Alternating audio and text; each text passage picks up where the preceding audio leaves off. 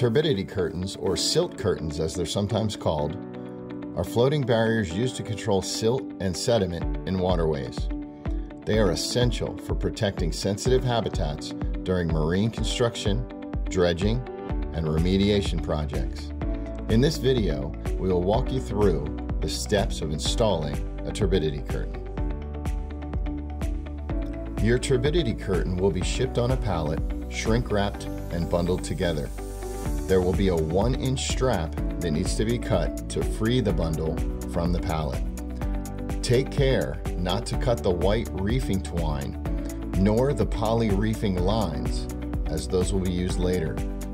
Next, the curtain should be unbundled, stretched out on the shore, and laid as close to the water as possible.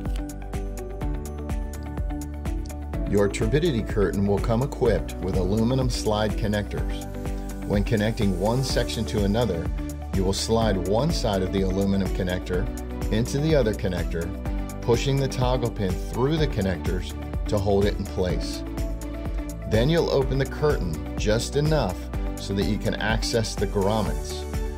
You will use heavy duty zip ties to cinch the grommets together all the way down the depth.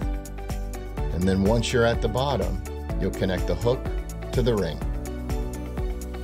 Once you're ready to pull the curtain into the water, attach to the shore anchor point and feed the barrier to your deployment boat.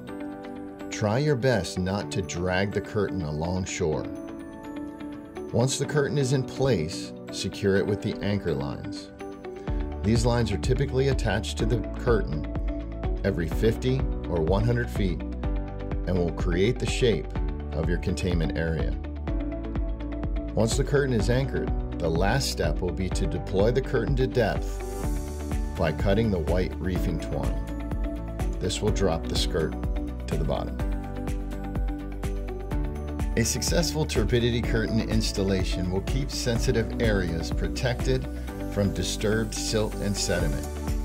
Elastec's team can give you expert advice and perform load modeling to ensure that you've got the best curtain type for your project and the right amount of anchorage to hold the curtain in place.